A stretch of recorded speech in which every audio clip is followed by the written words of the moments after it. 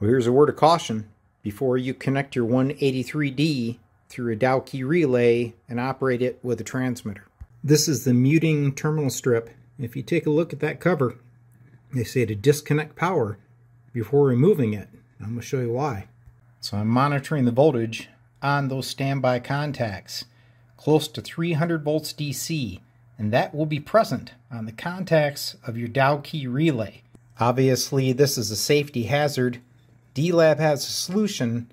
It's called the K1S switching module. This will go inside of the receiver. Well, there's a module in place. I simply adhere it to the chassis. Next, I'll be taking off these red wires and swing them down to one set of contacts.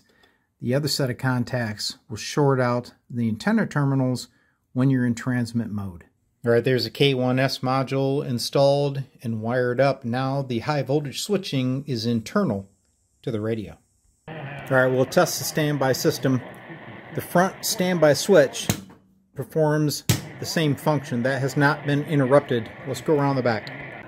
But now, instead of using those hazardous standby terminals, you have an RCA jack. So when you short this, it mutes the receiver.